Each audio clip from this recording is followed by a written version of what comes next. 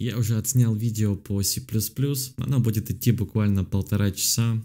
Контент будет такой же, как и видео по Java за 30 минут, только оно будет три раза длиннее. Там я говорю о C++, о том, как его использовать, о коре самого языка и вообще о многих его деталях.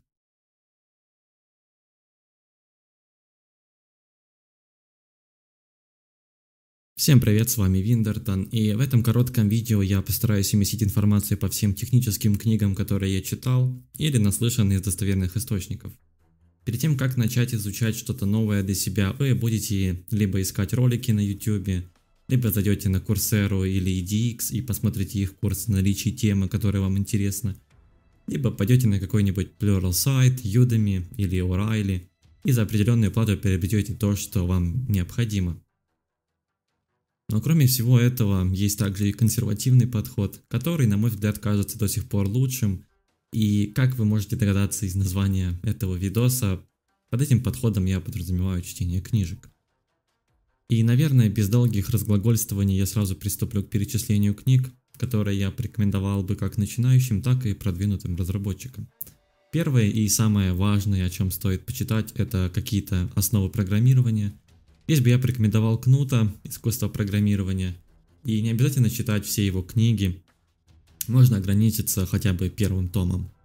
Именно для себя я не вижу достойных альтернатив этим книгам, потому что Кнут один из немногих людей, кто получил премию Алана Тьюринга, и он же писал книги о программированию и алгоритмам, где он делился своими взглядами на решение многих проблем и своим мышлением – и если вы знаете книги, которые лучше кнутовских, то обязательно дайте мне знать в комментах или в личку.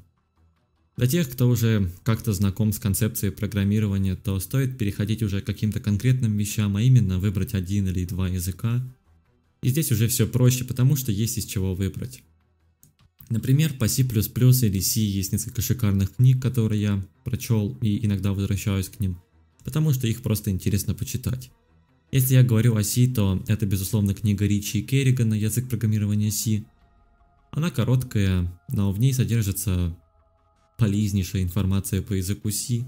Также есть неплохая книга для новичков, которая называется а, C Programming Absolute Beginner's Guide. Я не знаю, если она на русском, но если вы не будете лениться, то я уверен, что вы ее сразу найдете. Лично из этих двух книг мне нравится больше первая, Потому что, во-первых, она очень короткая, во-вторых, она написана крутыми людьми, и в-третьих, я перечитывал ее просто десятки раз и каждый раз нахожу в ней что-то новое. C++, конечно же, это книга Страус Трупа, язык программирования C++, четвертое издание. Несмотря на то, что она огромная, там описаны почти все концепции языка, и в ней так же, как и с книгой по C, вы будете находить постоянно что-то новое.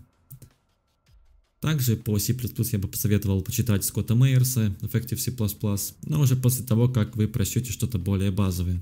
Если говорить о базовом, то у Страуструпа также есть книга, которая называется с английского, насколько я помню, Principles and Practice Using C++. Я ее читал, и она мне тоже понравилась.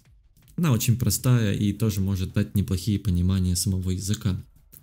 И, наверное, Александреско, но это тоже, как и книги Скотта Майерса для тех, кто уже хоть что-то знает, и они просто дадут вам жизненные примеры использования самого языка C++.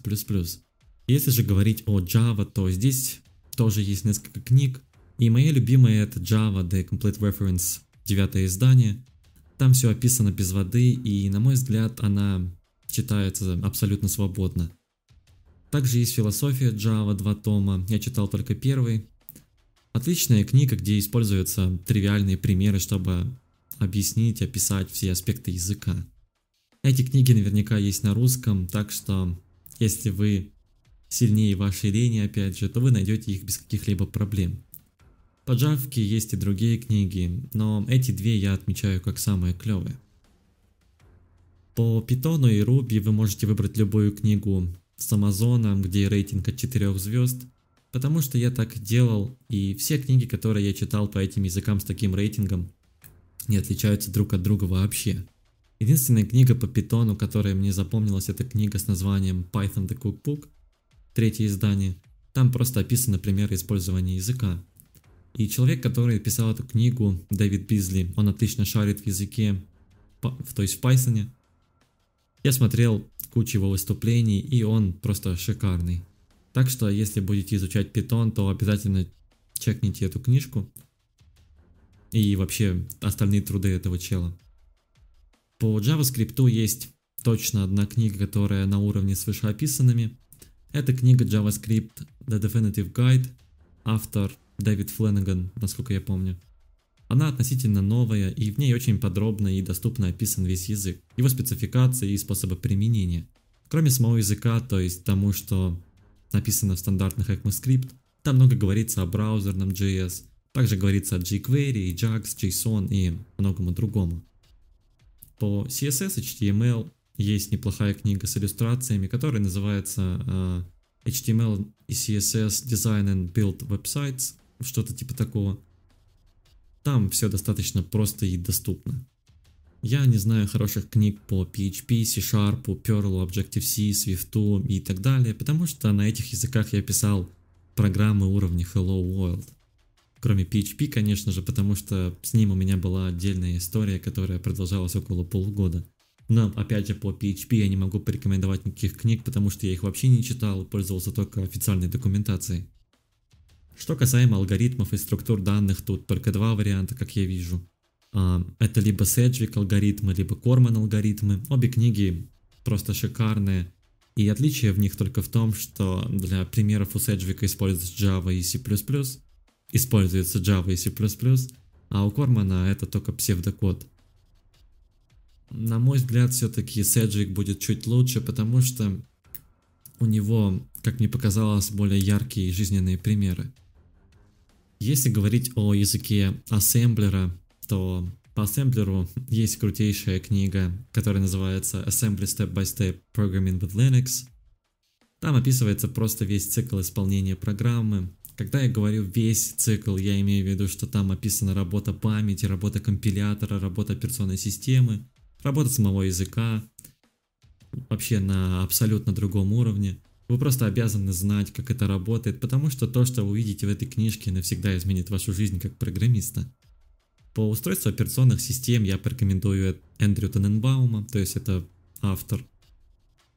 У него большие и достаточно подробные книги по операционным системам, также у этого автора есть неплохая книга по сетям и работе железа.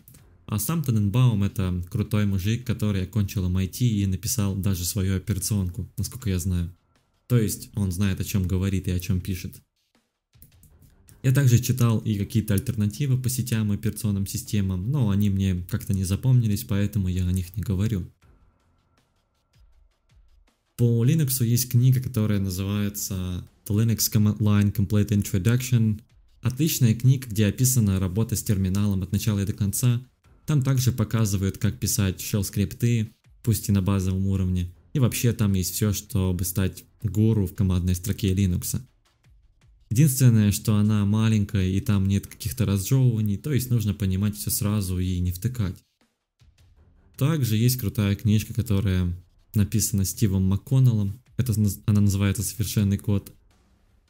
Стив МакКоннелл это топовый разработчик, который рассказывает о рутине, о том, как надо и как не надо писать код, и вообще говорит о многих интересных программисту вещах.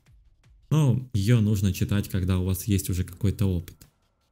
Если говорить о английском языке, то я бы порекомендовал книжку English Grammar and Use, четвертое издание. Она простая, но в то же время там изложен весь английский на блюдечке. И напоследок хочется сказать о паре книжек, которые мне показались крайне интересными. Это книга Hacking The Art of Explanation. Там описаны прикольные трюки по работе с сетями и с программированием вообще. И еще одна книга, которая называется, по-моему, Hacking How to Hack Computers, Basic Security and Penetration Testing.